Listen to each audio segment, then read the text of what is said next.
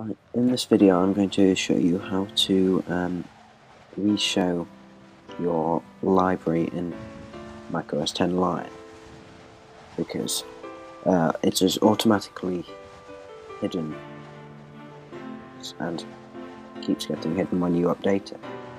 As you see there is no library there. But what you can do is go into terminal and put in chflags, no hidden, then little squiggle slash library, enter, and it appears.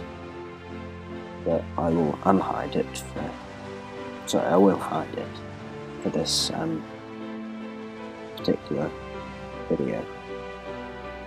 Also for people who don't particularly want to type into terminal or don't feel comfortable I made a little script or a little application.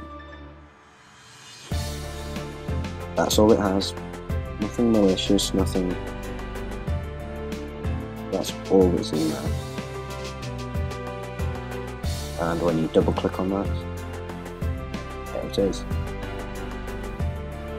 So it's quite a bit easier than, well, for, for more inexperienced users, um, who don't particularly want to go onto the command line interface.